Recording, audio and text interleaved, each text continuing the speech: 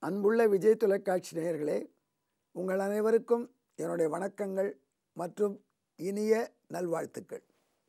இப்பொழுது அன்னையின் திருநாமத்திலே முன்னூற்றி ஐம்பத்தி ஒன்பதாவது திருநாமத்தை நாம் அனுபவிக்கப் போகிறோம். அன்னையின் சிரிப்பை பற்றி ஒரு குறிப்பு வருகிறது வால்மீகி ராமாயணத்தில்.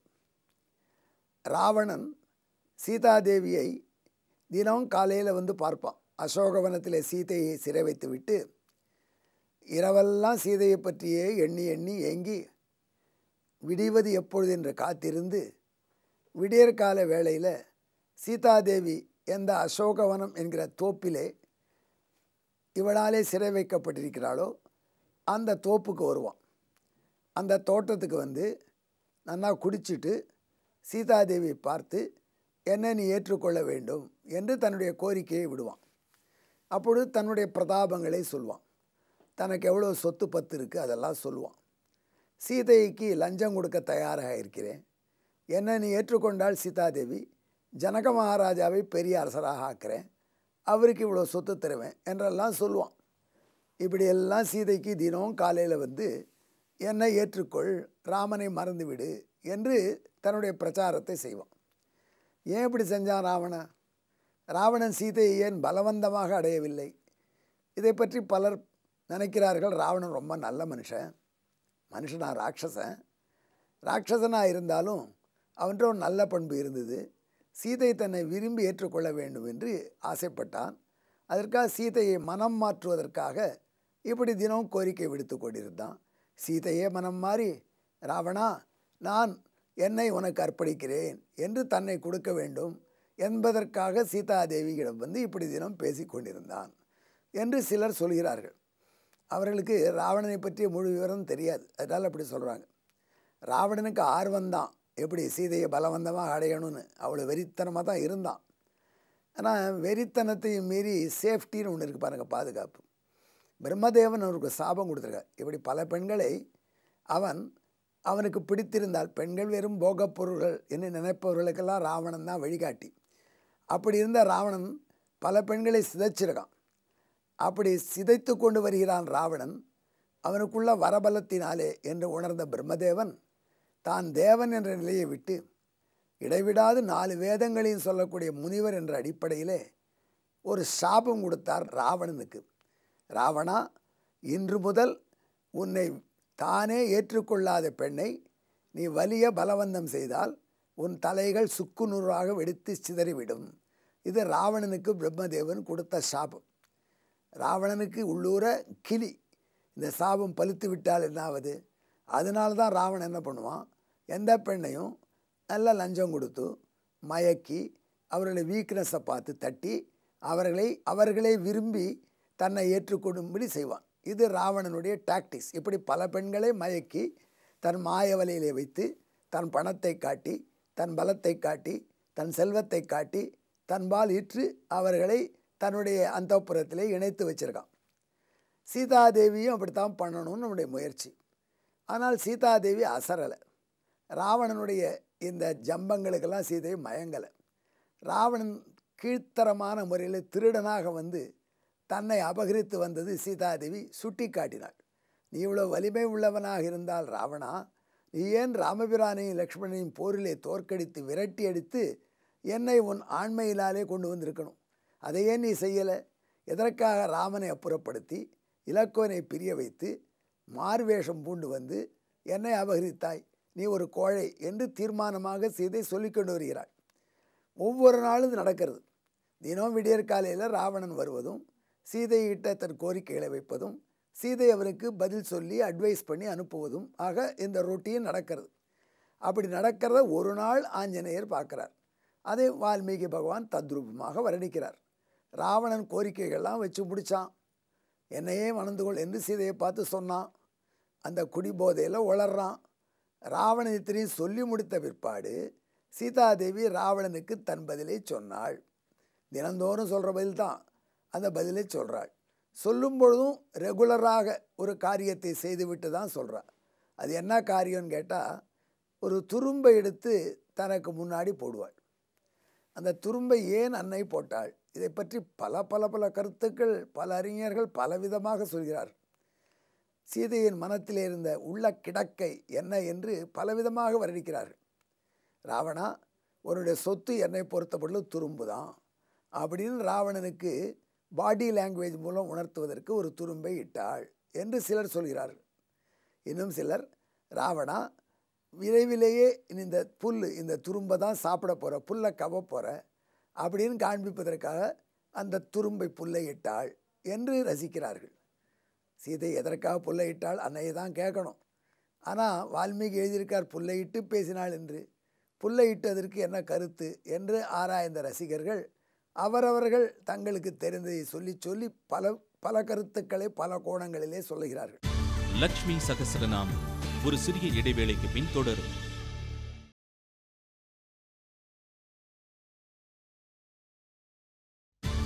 லக்ஷ்மி சகஸ்ரநாமம் தொடர்கிறது. அந்த துரும்பை போட்டுவிட்டு புல்லை இட்டுவிட்டு ராவணனுக்கும் தனக்கும் இடையிலே புல்லை இட்டுவிட்டு அதன் பிறகு அன்னை ஒரு புன்முறுவல் பூத்து பேசினாள் என்று வால்மீகி சொல்கிறார். அந்த புன்முறுவலை சொல்லும் பொழுது தூய புன்முறுவல் என்று சொல்கிறாள். அன்னையினுடைய புன்முறுவல் தூய புன்முறுவல். ஏனென்றால் அந்த புன்முறுவல் ஏமாற்றாது. அந்த புன்முறுவல் கபடமாக ஒருத்தரை தான் வசப்படுத்துவதற்காக பயன்படுத்த வந்த புன்முறுவல் அல்ல. அந்த புன்முறுவல் தூமுறுவல் தூய முறுவல். தூய முறுவல் என்றால் என்ன? தூய சிரிப்பு என்றால் அதிலே கபடம் கிடையாது சூழ்ச்சி கிடையாது சதித்திட்டம் கிடையாது. தன் காரியத்தை சாதிக்க வேண்டும் என்கிற சுயநலம் கிடையாது. இந்த ராவணன் இப்படி தவறு செய்து தானும் மாண்டு போய் தானும் வீணாகி இந்த மாபெரும் இலங்கை அழகே இலங்கை தென்னிலங்கை இதையும் நாசம் பண்ண போகிறானே என்கிற கருணையினாலே ராவணனை பார்த்து தூமுருவல் புரிந்துவிட்டு பிராட்டி பேசினாள். துரும்பையிட்டாள் தூமுருவலுடன் பிராட்டி பேசினாள் என்கிறார் வால்மீகி பகவான். இந்த ஸ்லோகம் நிறைய தடவை உபன்யாசங்களை கேட்டிருப்பீங்க. பொதுவாக நான் இந்த தொலைக்காட்சி நிகழ்ச்சியில் நிறைய ஸ்லோகங்களை கோட்படுவதில்லை. ஏனென்றால் எல்லோரும் ரசிக்கிற கொஞ்ச நேரத்தில் அவர்களுக்கு தெரிந்த மொழியிலேயே சுருக்கமாக கருத்துக்களை சொல்ல வேண்டும் என்கிற ஒரே நோக்கம். ஆனால் இந்த ஸ்லோகம் ஒரு தடவை காதால் கேளுங்கள். ஏனென்று கேட்டால் இந்த ஸ்லோகம் வால்மீகி சீதையினுடைய தூமுருவலை பற்றி சொல்கின்ற ஸ்லோகம் நம்ம எண்ணங்கள் தூய்மை பெற இந்த ஸ்லோகம் உதவும். எங்கே பக்தியுடன் இந்த நிலையை வால்மீகி வர்ணிக்கிற ஸ்லோகத்தை சொல்கிறேன் கேளுங்கள். திருணமந்தரத கிருத்வா பிரத்யுவாச்ச சுச்சிஸ்மிதா.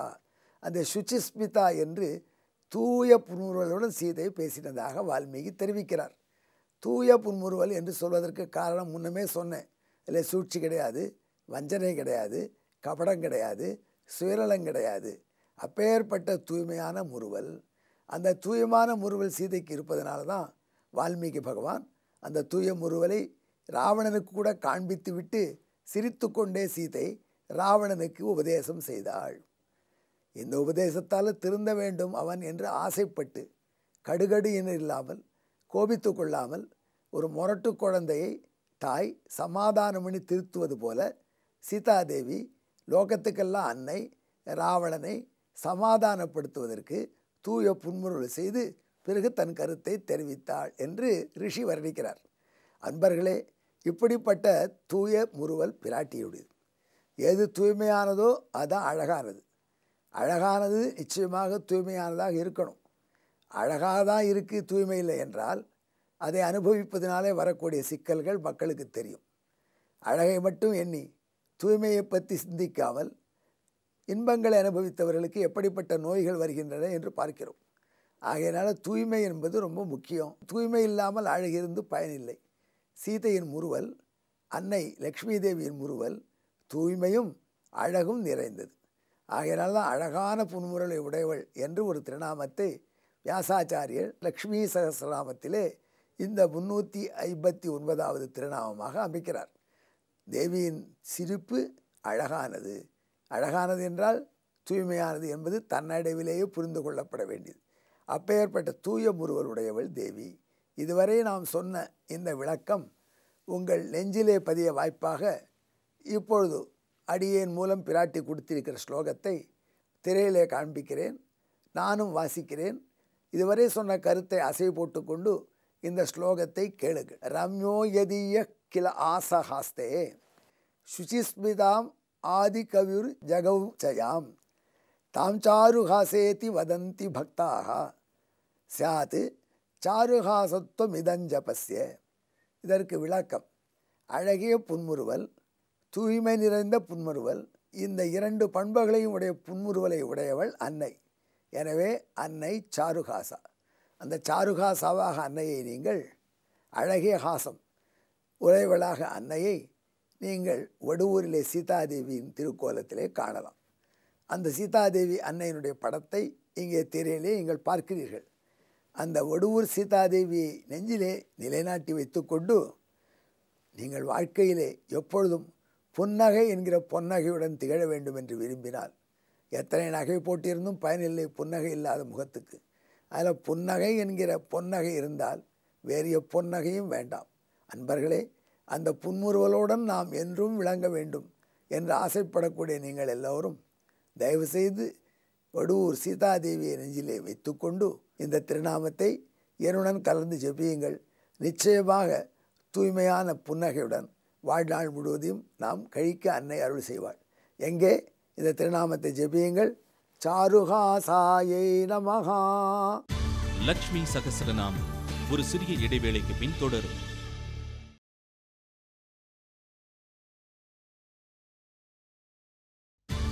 லக்ஷ்மி சகஸ்ரநாமம் தொடர்கிறது. பித்ரே பிரம்மோபதிஷ்டே மே குரவே தெய்வதாய பிராபியாய பிராபகாயாஸ்து நம ஸ்ரீநிதயே நமகா அன்புள்ள விஜய் தொலைக்காட்சி நேயர்களே உங்கள் அனைவருக்கும் என்னுடைய வணக்கங்கள் மற்றும் இதயபூர்வமான இனிய நல்வாழ்த்துக்கள். லக்ஷ்மி தேவியின் சாஸ்திராமத்தை நாம் இப்பொழுது ரசித்து கொண்டு வருகிறோம் அல்லவா அதிலே இப்பொழுது நீங்கள் கேட்கப் போவது முன்னூற்றி அறுபதாவது திருநாம். ஸ்ரீரங்கம் போனீர்களானால் நீங்கள் ஒரு அதிசயமான சிற்பத்தை தவறாமல் பார்க்க வேண்டும். அதாவது எம்பெருமானுடைய சந்நிதியை வளமாக வந்து ரங்கநாயகி தாயார் சந்நிதிக்கு போக வேண்டும் என்று நினைத்தால் தெற்கு வாசலில் எம்பெருமான் சந்நிதியிலிருந்து வெளியே வந்தவுடனே நீங்கள் வலப்புறமாக திரும்புவீர்கள். வலப்புறமாக உங்கள் வலதுகை பக்கமாக திரும்புவீர்கள். அப்படி திரும்பும் பொழுது அந்த இடத்திலே நெல் அளக்கும் இடம் என்று காட்டுவார்கள். இறைவனுடைய திருவிழாவிலே ரங்கநாதனுக்கு முன்னாடி நம்பெருமாள் உற்சவர் ரங்கநாதன் அங்கே எழுந்தள்ளியிருக்க அவர் முன்னாடி அவருடைய சொத்துக்களாக இருக்கக்கூடிய நிலங்களிலிருந்து வந்த நெல்லை அளந்து காட்டுகிறார்கள் என்பதை குறிக்க நெல் அளக்கும் இடம் என்று திருவிழாவில் ஒரு பகுதி நடக்கும். அந்த நெல் அளக்கும் இடத்தை காண்பிப்பார்கள். அங்கிருந்து நீங்கள் வலதுபுறமாக வடக்கு நோக்கி திரும்புவீர்கள். தாயார் சன்னதிக்கு போவதற்கு. அப்பொழுது அங்கே ஒரு சிற்பம் நீங்கள் பார்க்கலாம். மந்திரமலை இருக்கும். மந்திரமலையை சுற்றி வாசுகி பாம்பு இருக்கும். வாசுகி பாம்பின் வால் பக்கத்திலே தேவர்கள் அதே மாதிரி அதனுடைய தலைப்பக்கத்திலே அசுரர்கள். எப்படி அவர்கள் கடவதை அங்கே சிற்பமாக வைத்திருக்கிறார்கள். அதில் இன்னும் கொஞ்சம் கூர்ந்து கவனித்தீர்களானால் இரண்டு குரங்குகள் தேவர் பக்கத்தில் இருந்து அந்த சமுத்திரத்தை கடைவதற்கு மலை வாசுகியை பற்றி சுழற்றுவதை காணலாம். அந்த இரண்டு குரங்குகள் யார்? வாலியும் சுக்ரீவனும். அட வாலி சுக்ரீவன் ராமாயண காலத்தில் இருந்தவர்களாயிற்றே. இது திருப்பார்க்கடலை கடைந்தது வராக அவதாரத்துக்கு அப்புறம் இமீடியட்டாகவோ முன்னாடியோ இருக்கட்டுமே. அதன் பிறகு நரசிம்மாவதாரம் வாமனாவதாரம் பரசுராம அவதாரம் என்று பல அவதாரங்கள் நடந்த பிறகு வரக்கூடிய ராமாவதாரத்திலே தான் சுக்ரீவனும் வாலியும் வருகிறார்கள். அப்படி இருக்கச்சே திருப்பார்க்கடலை கடையும் பொழுது அவர்கள் இருந்தார்கள் என்று சொல்வது எப்படி என்று ஆச்சரியப்பட வேண்டாம். வாலி சுக்ரீவன் நீண்ட நாள்களாக வாழ்ந்தவர்கள். அந்த வாலி சுக்ரீவன் இருவர்களும் தேவர்களும் அசுரர்களும் திருப்பார்க்கடலை கடைய முயற்சித்த பொழுது முப்பத்து முக்கோடி தேவர்கள் ஒரு பக்கம் அறுபத்தாறு கோடி அசுரர்கள் ஒரு பக்கம். இப்படி தொண்ணூத்தொம்பது கோடி மக்கள் அந்த திருப்பார்கடலை கடைகிறார்கள். ஆனாலும் மலை சுழல மறுத்துவிட்டது. ஸ்டார்டிங் ட்ரபிள் ஸ்டார்டிங் டார்க் என்று ஆங்கிலத்திலே இன்ஜினியரிங் கல்வியிலே சொல்லிக் கொடுப்பார்கள். ஒரு வண்டி கிளம்பும் பொழுது அதிக ஆற்றல் வேண்டும். ஸ்டார்ட் ஆகிடுதுன்னா அப்புறம் ஓடிடும். அதனால் ஸ்டார்டிங் டார்க்கு ரொம்ப ஜாஸ்தி வேணும் அப்போது இந்த அசுரர்கள் தேவர்கள் இப்படி தொண்ணூத்தொம்பது கோடி பேர் இருந்தும் ஸ்டார்டிங் டார்க் சஃபிஷியண்ட்டாக போதுமானதாக இல்லை. இப்போ என்ன செய்கிறது அப்போது நாராயணன் சொன்னார் வாலியும் அழிச்சிடுவார் வாலி வந்தால் கூடவே சுக்ரீவம் வருவான் நகமும் சதையுமாக இருந்த காலம் அது. ரெண்டு பேரும் வந்து கடலை கடைய உதவி செய்தார்கள். அதனுடைய பலன் மலை சுழலத் தொடங்கியது. தேவர்கள் கடைந்தார்கள் அசுரர்களுடன் கடைந்து. இப்படி தங்களுக்கு உதவி செய்த வாலியை தேவர்களும் அசுரர்களும் பாராட்டினார்கள். அப்படி கடைந்த பொழுது அமிர்தம் வருவதற்கு முன்னாடி பல பொருள்கள் வந்தது என்று பல தடவை நாம் சொல்லியிருக்கோம். அதில் அப்சரசுக்கள் வந்தார்கள். அந்த கணக்கற்ற அப்சரசுக்களில் தாரா என்று ஒரு அப்சரஸ் வந்தாள். தாரா என்பவள் தாரை என்று கண் பாவைக்கு பெயர் சமஸ்கிருதத்தில். அந்த பாவை போல அப்படி பார்க்கலாம் போல அழகான பெண். தாரை என்கிற அப்சரஸை பார்த்தான் வாலி. சுக்ரீவனும் பார்த்தான். அவர்கள் இருவருக்கும் தாரை மீது ஆசை வந்தது. தேவர்கள் தங்களுடைய தேவாசுரர்களுக்கு முடியாத காரியத்தை செய்து கொடுத்த வாலிக்கு அவனுக்கு உதவி செய்த சுக்ரீவனுக்கு பரிசாக அந்த தாரையை அளித்தார்கள். வாலி தாரையை மணந்து கொண்டான். அப்படி தாரை கிடைத்தவாறே வாலி நமக்கு பரிசு கிடச்சிடுத்து தேவர்கள் அமிர்தம் கணிஞ்சு சாப்பிட்டுக்கட்டும். நமக்கு எதற்கு அமிர்தம்? வாடா சுக்ரீவா அமிர்தத்தை விட இனி அண்ணி கிடச்சிட்டா தாரை என்று சொல்லி தாரையை அழைத்து கொண்டு கிஷ்கிந்தே போயிட்டான். வாலி செஞ்ச ஒரு தப்பு அது. அவன் பொறுத்திருந்து அமிர்தம் வர வரைக்கும் பார்த்துருக்கலாம். பார்த்துருந்தா என்ன கிடச்சிருக்கும்? ஒரு ஸ்பூன் அமிர்தம் அவனுக்கும் கொடுத்துருப்பார்கள். கொடுத்துருந்தா ராமபானத்தால் மாண்டிருக்க மாட்டான். அது ஒன்றும் இரண்டாவது அந்த திருப்பார்கடலை கடைந்தால் அதிலிருந்து அமுதம் வருவதற்கு முன்னாடி அன்னை லக்ஷ்மி தேவி வரப்போகிறாள். அந்த லக்ஷ்மி தேவி வந்தவாறே தேவர்கள் அவளை வணங்கினார்கள். தேவர்களை அவர் கடாட்சித்தாள். அவளுடைய சுபமான பார்வை தேவர்கள் மீது பட்டது. அதன் பயனாக தேவர்களுக்கு துர்வாசஸ் கொடுத்திருந்த சாபம் விலகி மூன்று உலகத்து செல்வமும் மீண்டும் கிட்டியது. அந்த சமயத்தில் வாலி அங்கே இருந்திருந்து அந்த லக்ஷ்மி தேவியுடைய சுபமான திருஷ்டியை பார்வையை பெற்றிருந்தானாகில் வாலியினுடைய ராஜ்யம் வாலிக்கே இருந்திருக்கும். வாலியை ராமனால் கொண்டிருக்க முடியாது. ஆனால் சுக்ரீவனும் அண்ணாவோட ஓடி வந்துட்டானே. அவனுக்கு தாரை மீது அப்போ ஆசை இருந்தாலும் அண்ணாவுள்ள மரியாதையோட அண்ணின் தான் இருந்தான். சுக்ரீவனும் ஓடி வந்துட்டான். ஆகையினால சுக்ரீவனுக்கும் லக்ஷ்மி தேவியினுடைய அவதாரமும் அவருடைய திருஷ்டியும் கிடைக்கல. ஆகையினால சுக்ரீவனுக்கு இன்னும் மலிவு ராஜ்யத்தை எழுந்து சுற்றுறான் வாலிக்கு அவனுக்கு சண்டை வந்தவாறே வாலி விரட்டிட்டான். மூன்று லோகத்தையும் சுற்றுறான் எங்கே போனாலும் வாலி வந்து அடிக்கிறான்.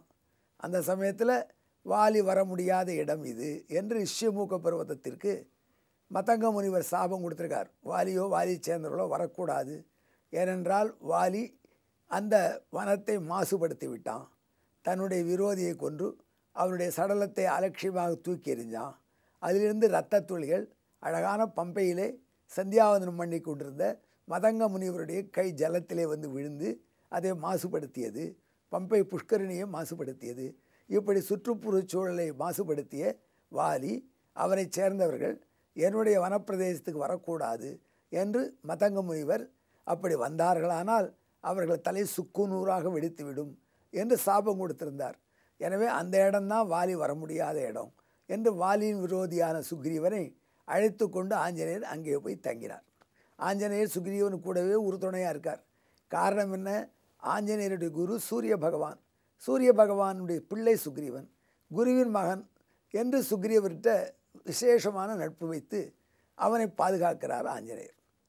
அப்பொழுது ஆஞ்சநேயர் பெரிய ஜோசிய வல்லுனர். ஏன் சுக்ரீவன் ராஜ்யம் இல்லாமல் ஓடுறான்? சுற்றிகிட்டே இருக்கான் அப்படிங்கிறது ஜாதகத்தை எடுத்து பார்த்தார். பார்த்த உடனே அன்றைக்கி லக்ஷ்மி கடாட்சம் கிடைக்கிற சமயத்தில் இந்த ஆள் விட்டு போயிட்டான் அப்படிங்கிறது தெரிஞ்சுது. அவருடைய ஜோசியத்தன்மை சாமர்த்தியத்தெல்லாம் வச்சு அதுக்கு என்ன பரிகாரம்னு பார்த்தார். அதுக்கு ஒரு மந்திரம் இருக்குது அதை ஜபிக்க வேண்டும் என்று தீர்மானித்தார். அந்த மந்திரத்தை சுக்ரீவனுக்கு சொல்லி கொடுத்தார். சுக்ரீவன் அந்த மந்திரத்தை ஜபிச்சான்.